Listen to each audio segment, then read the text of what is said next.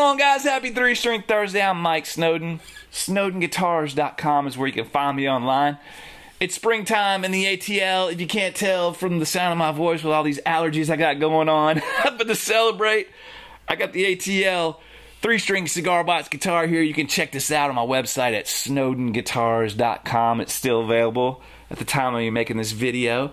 I want to pass along a quick slide tip today for Three String Thursday.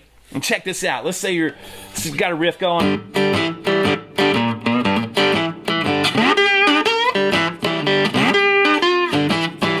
So you got that going right, and you hear that. There's a little thing that a lot of slide players do where you kind of bounce between two strings. Here, I'll kind of do it. I'll do it over and over.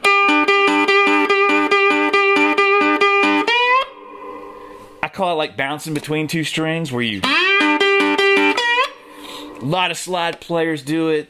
Think of Allman Brothers. Think of think of Duane Allman. A lot of slide players do it. But all you're doing is you're going between the the high string and the middle string.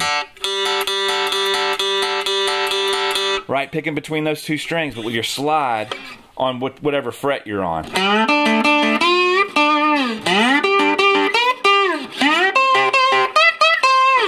Hear how it gives that no no no no no no. It's just a cool little thing to give your slide playing a little extra movement and a little more excitement. You know, when you're sliding around. Instead of keeping your slide like super still, you can slide up.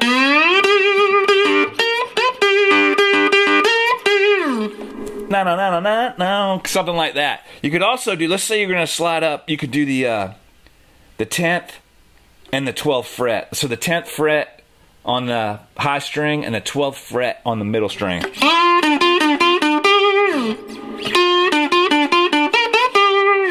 Little extra sound. You could do it any different way, but I find myself doing a lot like. So yeah, there's a little slide tip for you guys today. Give give that slide playing a little more action. I'll I'll kind of go out with a little little shuffle and I'll throw it in there. So happy three string Thursday, guys. We'll see y'all next week.